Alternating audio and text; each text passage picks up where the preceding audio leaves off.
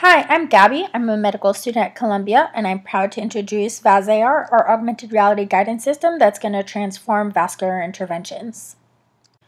So here's our team. Shreen and I are med students. Alana and Bruce are master students in computer science, and Simi is a radiology resident. We're all at Columbia. So, what are vascular interventions? Essentially, it's a type of surgery where you travel through the patient's blood vessels. So, instead of a large incision, you make a tiny needle puncture and travel through the blood vessels like a highway to get to your destination the heart, lungs, brain, really anywhere. Once there, you can do the surgery. So if a patient's bleeding, you can clog off that bleeding vessel. If a patient has cancer, you can deliver chemo directly to the tumor. If a patient has a stroke or heart attack, you can take the clot out of the brain or heart. Now, the trick to traveling through the blood vessels without opening the body is to use live x-ray for guidance. So here's an x-ray of the heart. They're injecting a liquid called contrast into the vessels to make them light up. So then you just slide your instruments through the blood vessels, and that lets you navigate anywhere. But the problem is, contrast can damage your kidneys, and radiation can cause cancer. Also, this x ray system only gives you a flat 2D image, so it's hard to navigate through the patient's three dimensional blood vessels, which branch and wind in all directions.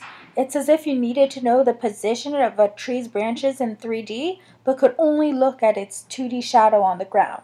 So, our goal is to solve this guidance problem for physicians. Our solution is to use augmented reality, AR for short, which lets you see virtual objects overlaid on the real world. We take an existing CAT scan or MRI of the patient, create a 3D model of their blood vessels, and upload the model into special glasses for the doctor. So, with these glasses on, the doctor can still see the patient and perform the surgery as usual, but they also see a 3D model of the patient's blood vessels floating in midair. So that makes the navigation easier, faster, and safer with less damage to your kidneys from contrast and less risk of cancer from radiation.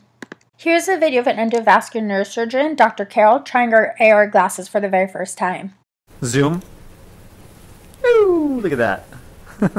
Dude, you gotta try this, man. It's, it's awesome. Your, your face is covered by a heart. Yeah. But like if you could put this in the top like top corner and then be doing like an angio and just kind of referencing that. Oh, look at that.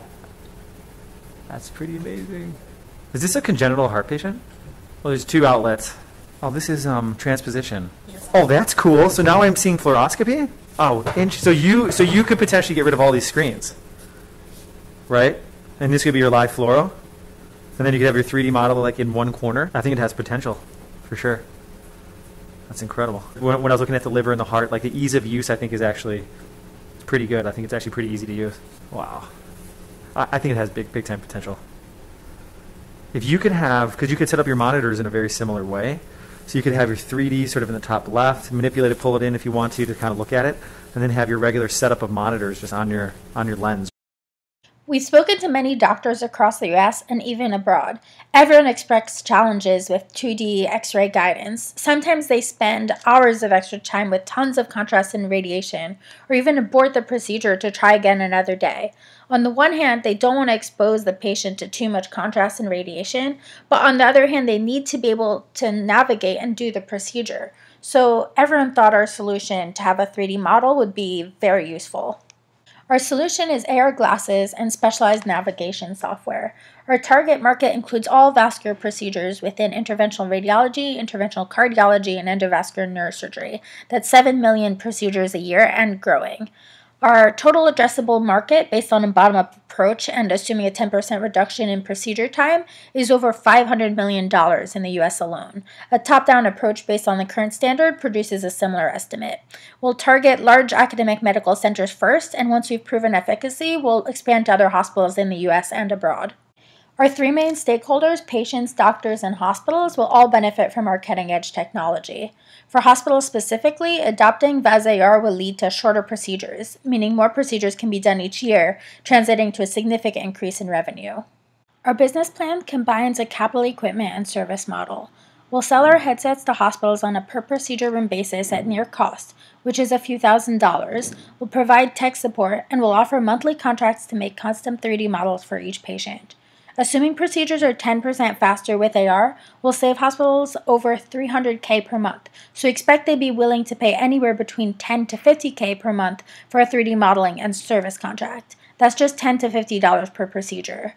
In terms of IP, we're working with Columbia Tech Venture Licensing Office and we'll be filing a provisional patent in the next two weeks. Since we'll be the first to market, we plan to create a high barrier to entry. AR for vascular interventions is an untapped market. People have tried various ways to solve the navigation issue, but each has problems. You can overlay a 3D model of the vessels on the flat screen x ray, but that's still not 3D. You can use 3D printing, but once printed, the 3D model can't be modified in any way.